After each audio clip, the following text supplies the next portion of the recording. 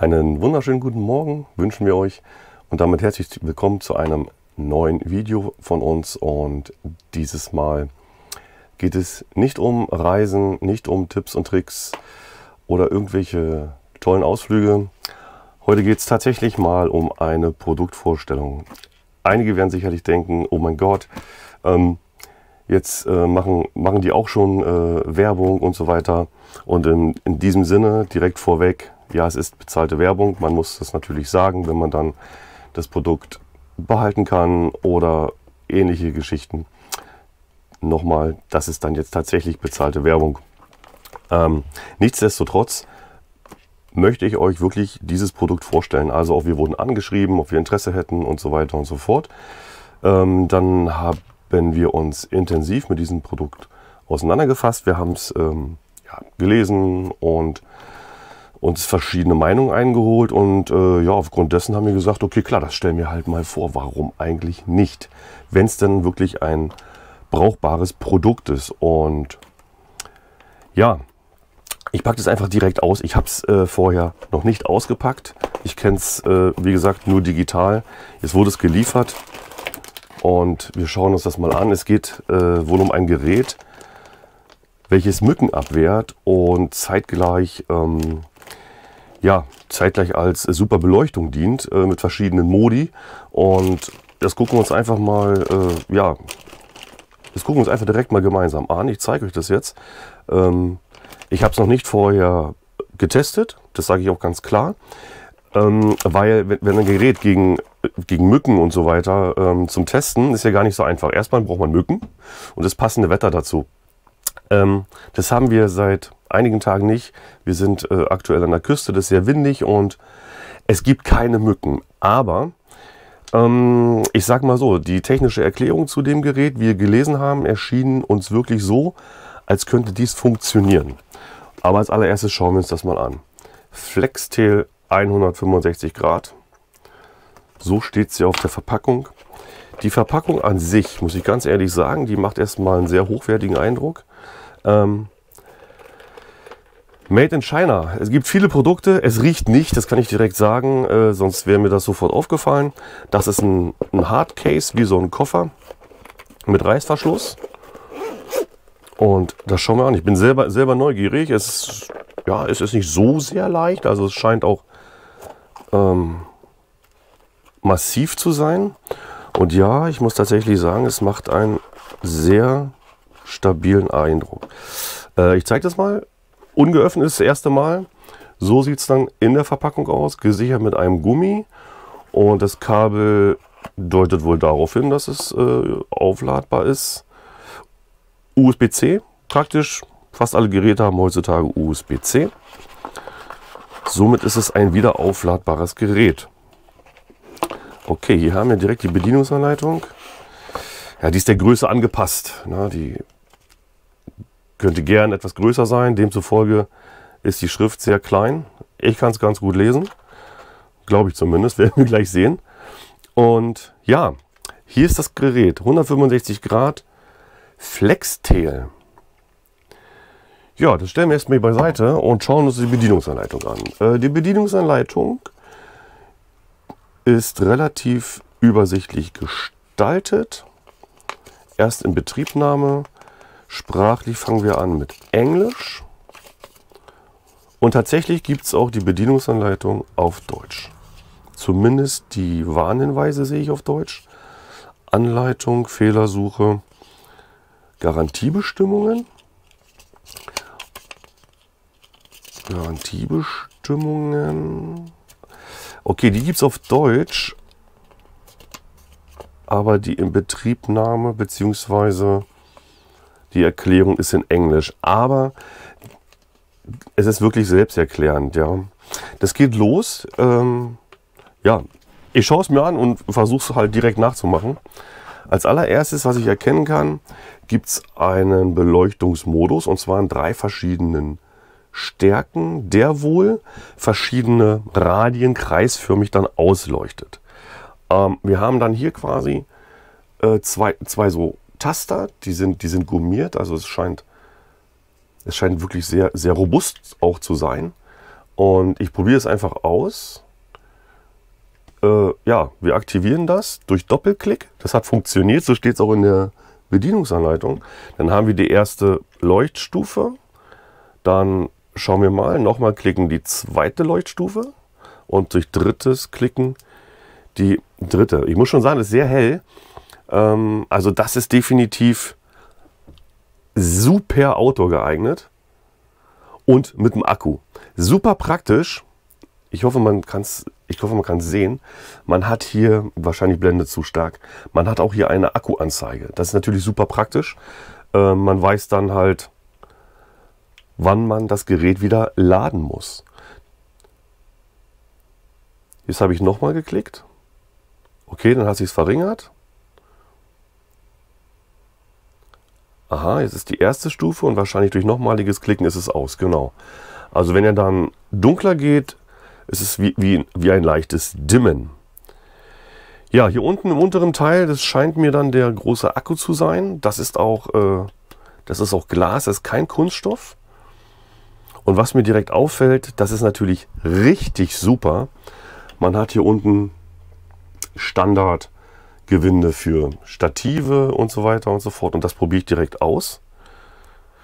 Ja, zufällig habe ich hier noch unseren Selfie-Stock zu liegen. Ganz ehrlich, der liegt hier noch vor mir rum. Und dann versuche ich mal, das,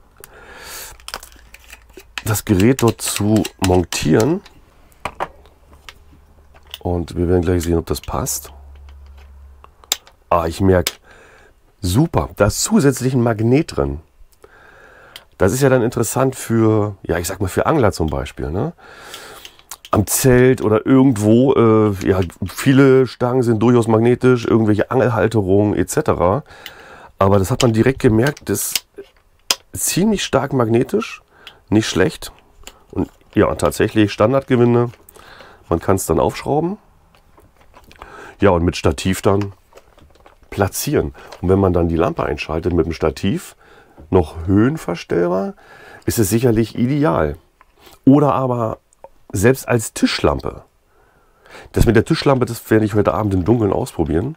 Wenn die auf dem Tisch steht, im schwachen Modus, wenn man abends draußen sitzt und nebenbei werden Mücken abgewehrt, äh, ganz ehrlich, ich glaube, das ist schon eine ganz tolle Geschichte. Okay, das zum Thema Beleuchtung. Ähm, ja, praktisch auch noch einen Haken dran. Ja? Also man könnte das auch total super in ein Zelt hängen oder wenn man ein Pavillon hat, äh, in die Mitte reingehangen. Und dann hat man eine super handliche, äh, sehr helle Lampe, die Mücken abwehrt und auch noch in jede Hosentasche passt. Das äh, gefällt mir besonders, besonders gut, muss ich ganz ehrlich sagen. Prima. Jetzt werden wir als allererstes mal einen Schluck Kaffee trinken. Das muss natürlich sein und schauen uns dann an, wie das mit, diesem, mit dieser Mückenabwehr funktioniert. Hm, okay. Okay, da gibt es Einsätze, die an der Seite reingeschoben werden. Dann muss es hier noch was geben in dem Karton. Ja, tatsächlich. Hier sind zwei so Verpackungen noch drin. Mosquito Repellent so heißt die Geschichte. Da sind zehn Stück drin. So schaut es aus.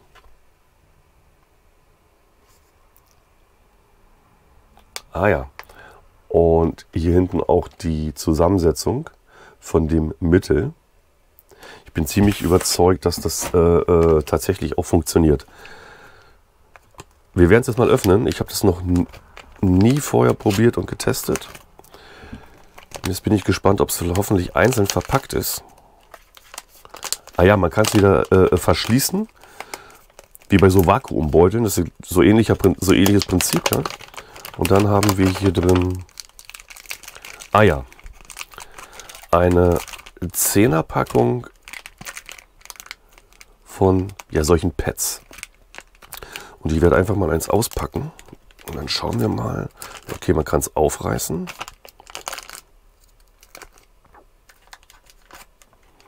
So, rosa sehen die aus. Und man soll sie dann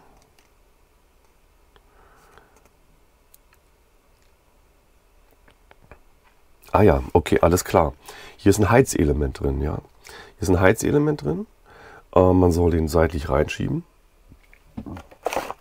Es steht nicht da, von welcher Seite. Also nehme ich halt irgendeine Seite.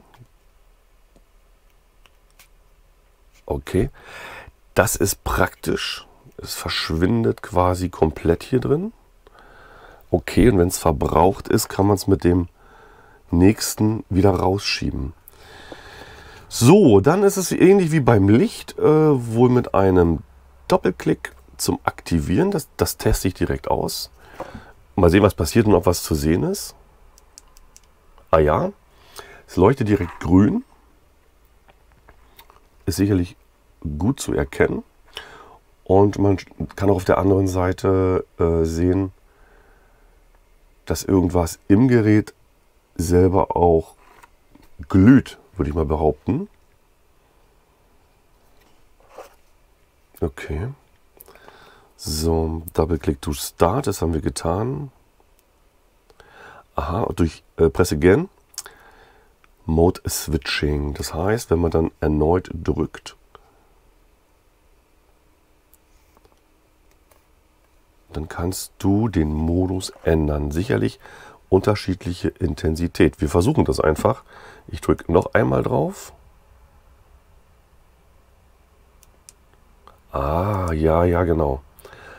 Also der Punkt ist, ich erkenne zwei Stufen, rein vom, vom technischen her. Doppelklicken aktiviert, dann leuchtet es grün. Das wird wahrscheinlich ein schwacher Modus sein, wenn es eventuell windstill ist, dass es nicht so stark verdunsten muss. Und durch erneutes Drücken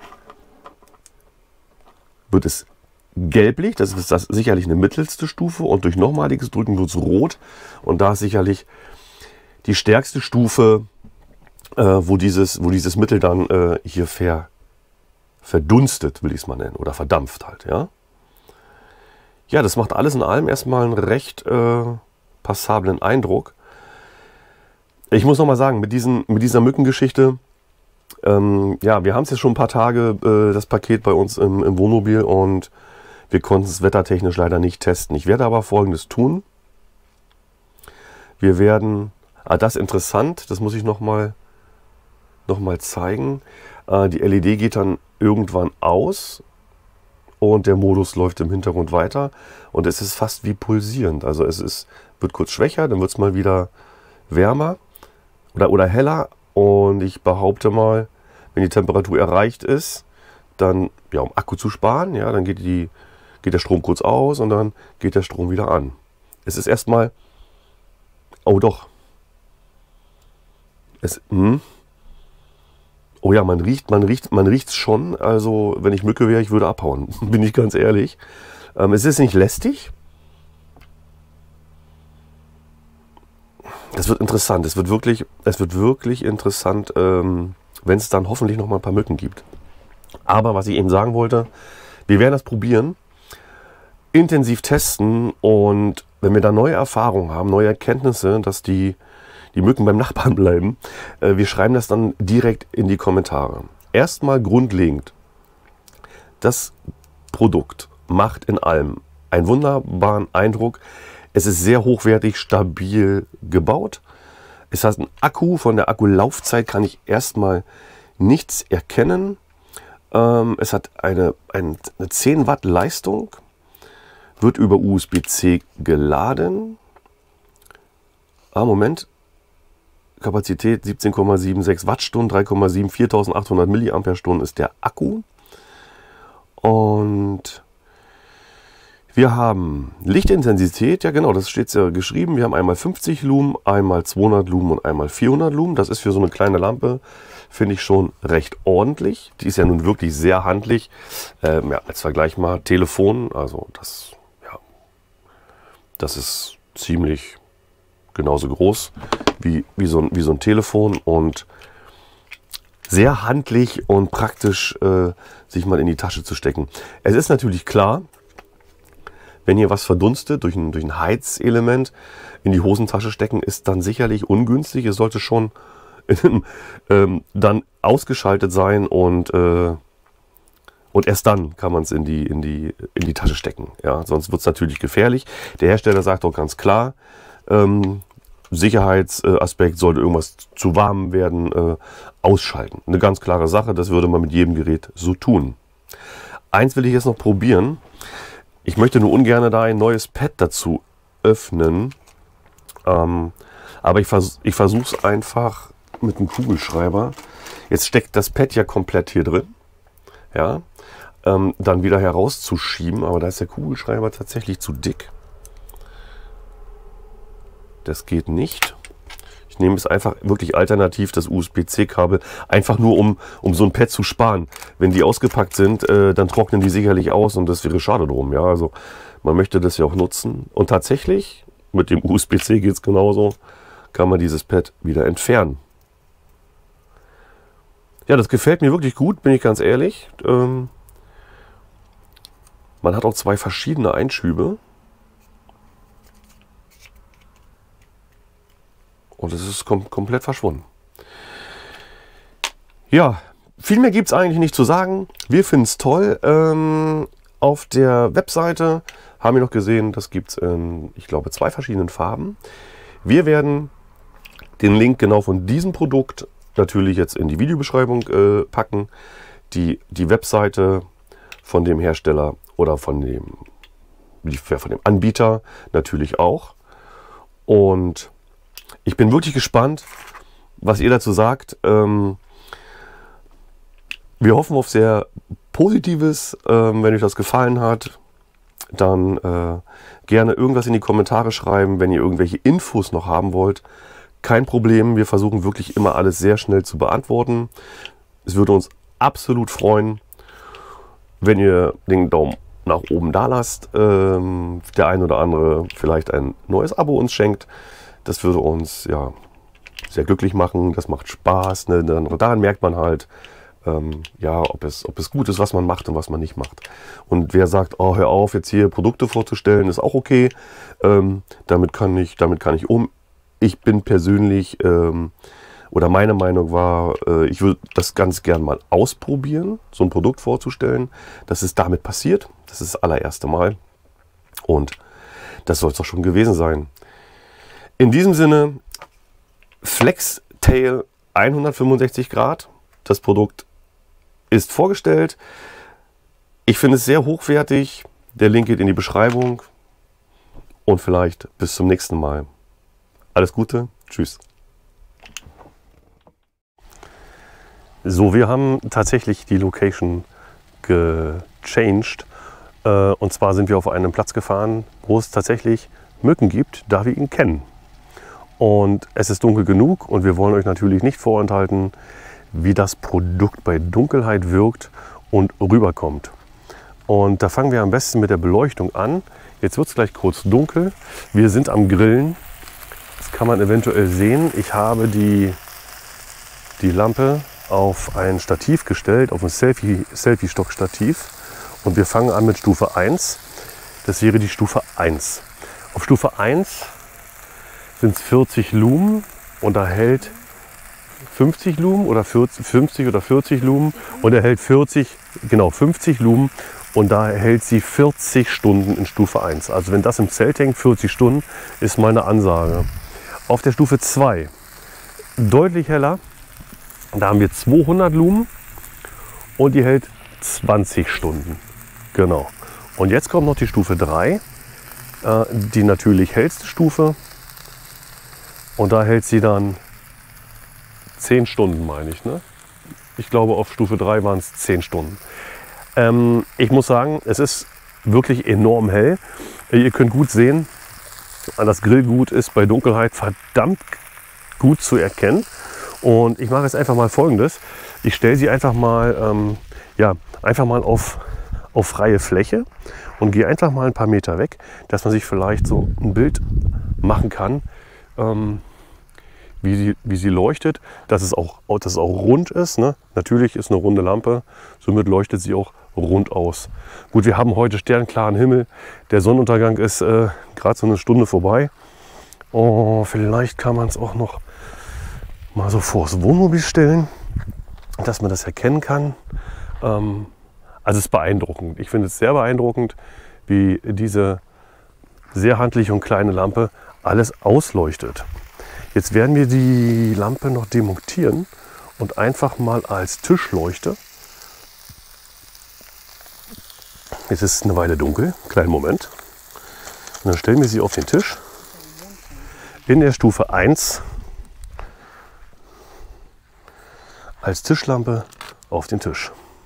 Hier haben wir die Stufe 1 und jetzt steht sie als Tischlampe auf dem Tisch. Auf dem Tisch und ich muss sagen, ähm, ja, das schon, das gemütlich auf jeden Fall. Selbst äh, zum Kartenspielen würde das funktionieren. Stufe 2, äh, das, ist schon, das schon gut hell. Und die Stufe 3 auf dem Tisch, die ist überhaupt gar nicht erforderlich. Somit haben wir das getestet. Wir haben auch getestet, äh, die Mückenabwehr. Also eins kann ich ganz klar sagen. Ich drehe es jetzt mal rum, dass man mich vielleicht ein bisschen sieht. Ähm, eins können wir ganz klar sagen. Auf diesem Platz, wo wir gerade sind, gibt es Mücken. Ähm, das wäre nicht das erste Mal. Und ja, wir haben die Maximalstufe an von dieser Mückenabwehr. Und ich muss sagen, es sind keine Mücken da. Es sind noch keine Fliegen da. In diesem Sinne äh, denke ich, das funktioniert. Also sie hat eine Flash-Funktion, muss ich gerade feststellen, das hatte ich heute noch gar nicht erzählt. Da äh, bin ich tatsächlich gerade überfragt. Ich habe sie deaktiviert. Stufe 1, zweite Mal Stufe 2, dritte Mal Stufe 3. Einmal drücken und ich glaube dann nach Stufe 3 beginnt die Flash-Funktion. Sie dimmt sich und okay, das ist ja wie so ein, Warn, wie so ein Warnlicht, ja, gar nicht, so, gar nicht so schlecht. Ja, auf jeden Fall, die Mückenabwehr funktioniert. Diesen Geruch von diesem verdunsteten Mittel in diesen Pads, irgendwie äh, kenne ich das von, von, von, von anderen ähm, Verdampfern. Das ist ein bekanntes Mittel, glaube ich, und somit funktioniert es. Wir können sagen, es funktioniert, ich sage aber auch ganz ehrlich, einen hundertprozentigen Schutz hat man wahrscheinlich nie und vor nichts. Dann noch ein zweites Mal Tschüss und wenn es euch gefallen hat, dann diesen vielen Dank. Bis zum nächsten Mal. Tschüss.